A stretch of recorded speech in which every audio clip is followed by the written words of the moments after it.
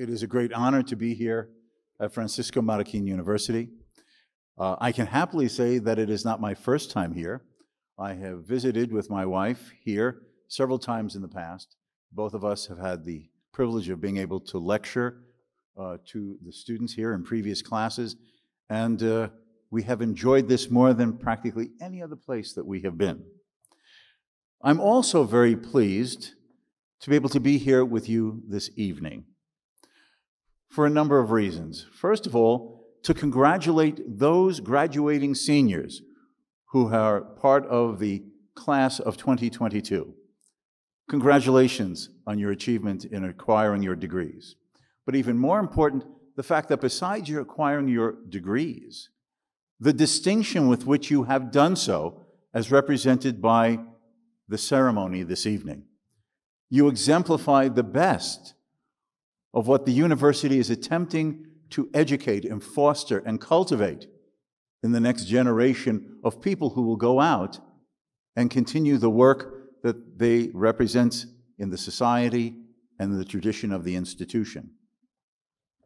Now, all of you will be leaving here with, from everything I understand, an international quality education in whatever your major, your field, your specialization has been. But more than that, you have earned those degrees and acquired the knowledge in your area of major and specialization in the wider context of what this institution stands for. And you leave with that as well. There are many forces and, and movements in the world that do not fully appreciate the values and the institutions and the ideas upon which Francisco Marroquin was founded nearly now over 50 years ago. What has enabled you to have the kind of education that you have? It requires an environment in which the individual is treated with dignity and respect and is understood to have a mind that has the ability to reason, reflect, think, argue, and debate and come to an understanding and an appreciation of what reality is and what the world offers, and to be able to go forth reasoned and educated for a life and a career. What are those ideas? Liberty and freedom are the most fundamental ones. What is a good society if each and every one of you are not to be free to find your own purposes, your own values, your own meanings, your own destinies that will make your life have a purpose in your own eyes.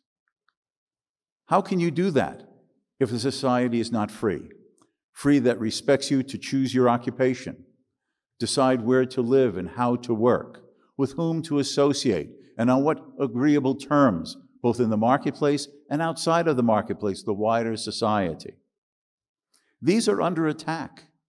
People do not value freedom. People sometimes look down upon the choices others make. There are forces that would attempt to narrow and confine your opportunities in life. Francisco Marroquin attempts to be a voice and an idea standing against that.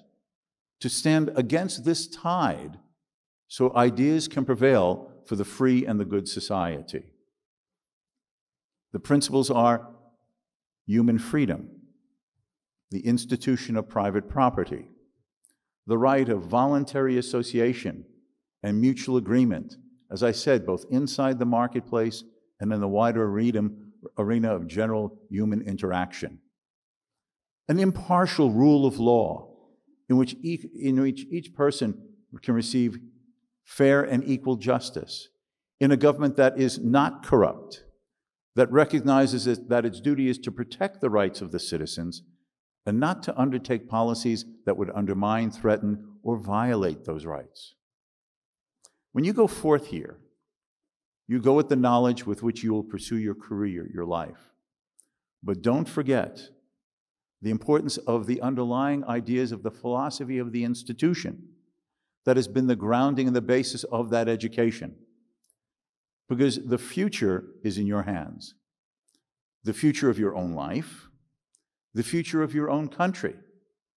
And as a member of the greater society of the world, influencing and helping to make a better global community of free people who together in their voluntary market associations can generate prosperity, betterment, advancement of civilization and society. Each one of you has a little bit of that responsibility on your shoulders so that your children and your children's children can have the same opportunities of freedom in education and in society and opportunity that you are able to have. Let me again congratulate you on the achievement of your graduating from this institution and with such distinction and honor.